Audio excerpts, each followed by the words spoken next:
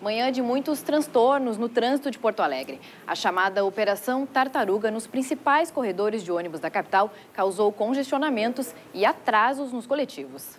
A manifestação dos rodoviários faz parte da campanha salarial e outros protestos podem acontecer. Ontem, patrões e trabalhadores não chegaram a um acordo e não marcaram nova reunião. Foram mais de três horas de muita tranqueira. A manifestação, iniciada em três corredores de ônibus na região central, acabou com reflexos nas avenidas Bento Gonçalves, Azenha e na entrada da cidade, atrapalhando também o trânsito dos veículos. No corredor da Avenida João Pessoa, no sentido do bairro, paradas cheias, porque os coletivos não chegavam.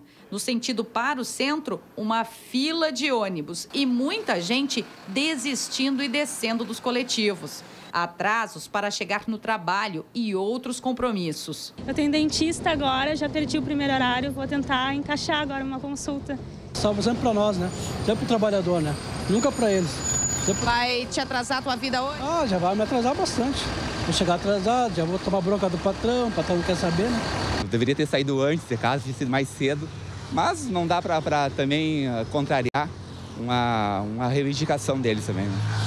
No corredor da Avenida Farrapos, um verdadeiro comboio de ônibus se formou com a redução da velocidade dos veículos.